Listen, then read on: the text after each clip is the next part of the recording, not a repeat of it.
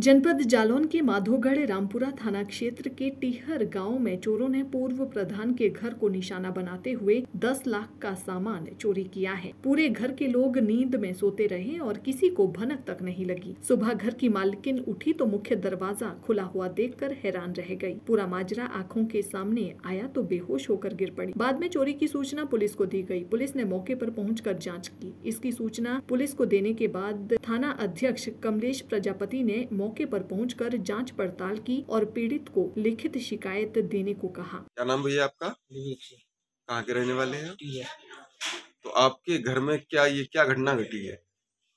रात में चोरी हो गई। तो आप लोग घर पे सो रहे थे क्या? हाँ, आप लोगों को आहट नहीं आई? नहीं नहीं।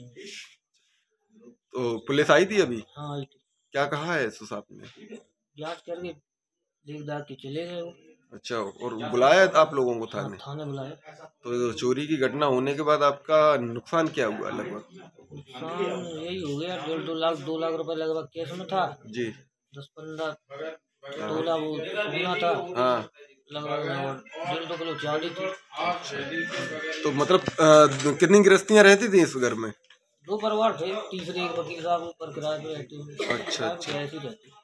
अच्छा। उनका कोई नुकसान नहीं अच्छा तो कुल मिला के जो कुछ भी था आपका सारा चीज़ें सब चोरी में चली गई।